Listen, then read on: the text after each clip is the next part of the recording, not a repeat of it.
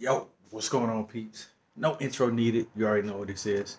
But today, uh, for those who don't know, man, we got the G20 back. She's out right there, sitting right there. You kind of can't see because of glare. And the garage is kind of raised up. But anyway, got the G20 back. Uh, what we're about to do right now is actually start just wiping her down real nice because I'm actually gonna go ahead and start applying my uh, Dynomatting. Okay yeah, I'm putting Dynomatting in the G20, man. Before I do all the interior and all that stuff, we're gonna get this baby sounding, getting her sounding real nice from the cabin area. You know, good soundproof, proofing going on. Okay, so yeah, let's get into it.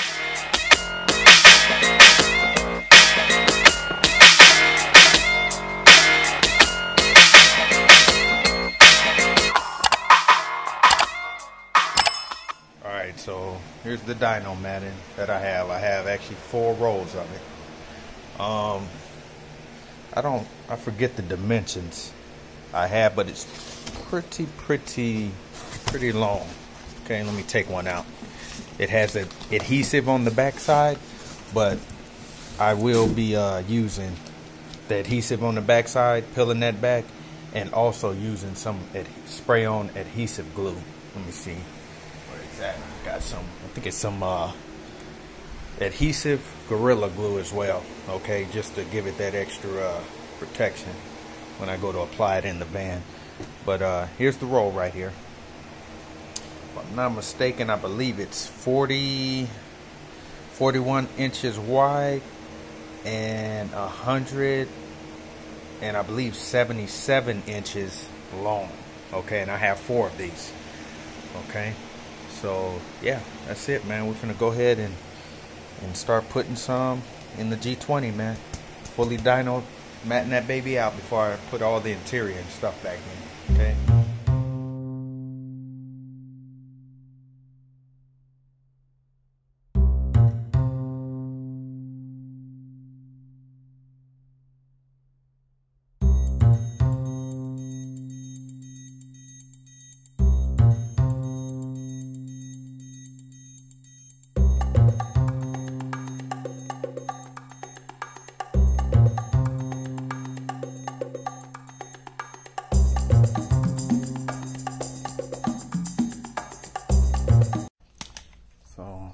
Guys see.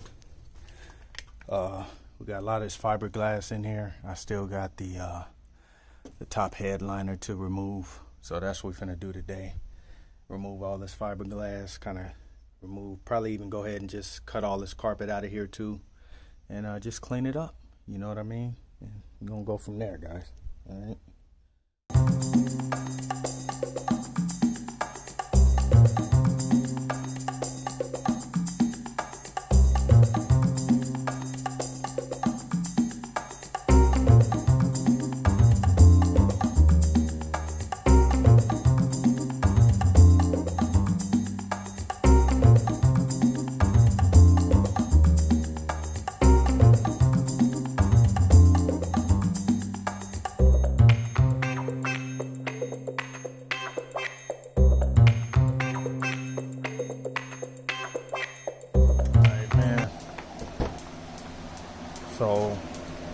Much done with what I plan on doing with the inside today. So I removed all of the uh, fiberglass out of here. It's just the remnants of the fiberglass on the carpet, but I'm not tripping on the carpet too much because again, I'm gonna tear this carpet out of here is where all this is gonna go. Basically cleared all of the uh, fiberglass off the walls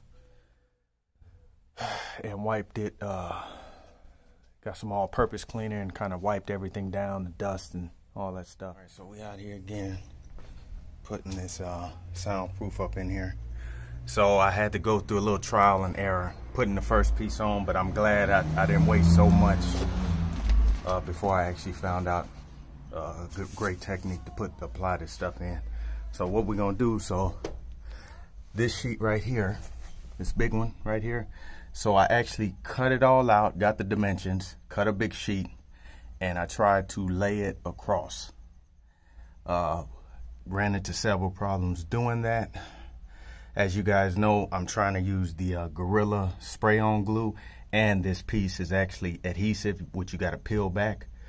So trying to do it in a big sheet like that, it kind of got messy. As you can see, I got a lot of air bubbles in there and it's not it's not sticking as good because it's kind of hard once you start peeling back the adhesive and then applying the Gorilla glue, spray on glue on the back of it and putting it in there. It's just hard to manage. Okay, so I actually, right now, I actually decided to just cut them. These are, I believe, 11 by 21 little sheets on the outer edge, but the three inner edges is 21 by 9 inches. Okay, so it's a lot easier to just go ahead and cut them up in little pieces like this and uh, apply it in. It sticks great. It's a lot easier to manage and because I'm trying to get the most out of this uh, soundproofing Dynomat without all these air bubbles, okay? So that's how I'm going to go ahead and apply it in to the rest of the ceiling.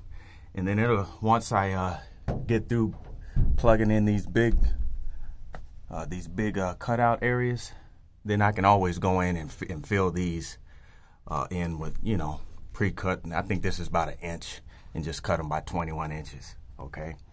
That way I can get the most out of it because I'm not trying to go through the whole van wasting it and, and uh, getting a lot of air bubbles, okay? We want to do this right. So for all you guys, we're trying to put Dynomatting in the G20. This is going to be the best route, in my opinion, to go with, okay? So I'm not going to bore you guys in showing footage of me doing it. I'm gonna go ahead and just get the work and then show you guys the ceiling once I get done. All right, let's get it. All right, so we got the uh, top Dynomatting in the G20. And as you guys can see, I just went ahead, like I mentioned earlier, I just cut the pieces out and uh, it was a lot more easy and more manage, more manageable to just do it that way. It Took a little bit more time, but um, I don't mind, uh, you know, taking a little bit of time, as long as it's done right. You know what I mean?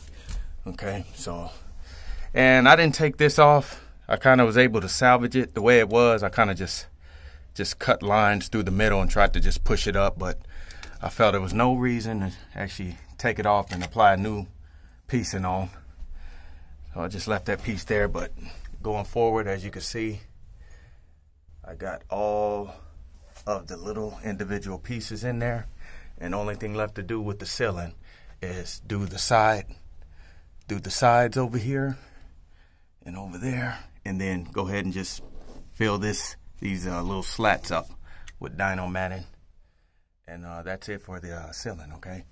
So I'm gonna go ahead and stop there. And uh, yeah, to be continued, man. So tomorrow, I think I'm gonna go ahead and start doing these walls. And I'm actually quite surprised because I was able to do the top with one one roll.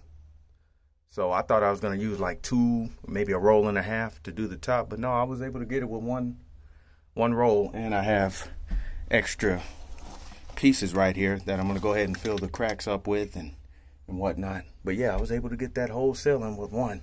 Just took a little time. But uh, nevertheless, we're going to come back tomorrow, guys, and uh, and try to get the uh, sides done, okay? All right. So we pretty much got all the Dynomat in where it's supposed to be. I just gotta remove this, uh, remove this old carpet in here. And as you can see, it's all on there. Got it on the roof, right? So that's done. So next, what we're about to do is see that that foam there. I got I got some uh, foam right here already. And this is some pretty thick foam. It's about an inch. It's about an inch thick. So we're gonna definitely definitely make this thing soundproof as possible. Then I got little rectangle